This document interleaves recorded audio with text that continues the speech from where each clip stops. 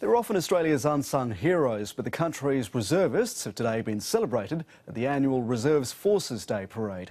With numbers on the rise, more and more people born overseas are also signing up.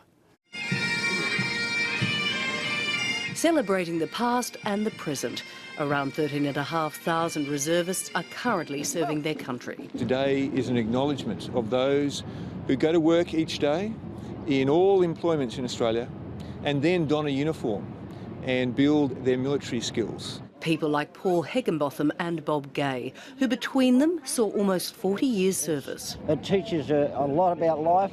Cooperation. Yeah, uh, teamwork. Skills that a new generation are hoping to learn. 14-year-old cadet Daniel Pragnell is excited by the reserves. I like the discipline behind it and I like the idea of like teamwork. I first got in it to uh, get out of the pub, basically. To um, I needed a bit of direction at the time. The reserves are also attracting more Australians born overseas. About 28% of our people born overseas, we see them coming into our reserve.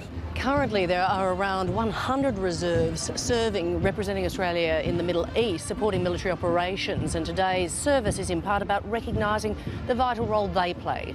It was also about remembering those who served in the Middle East 100 years ago. It's fantastic service. Tributes were accepted by the relatives of those who fought in the desert campaigns of 1917. It would be as if he's up there watching down and saying, that's pretty bloody special.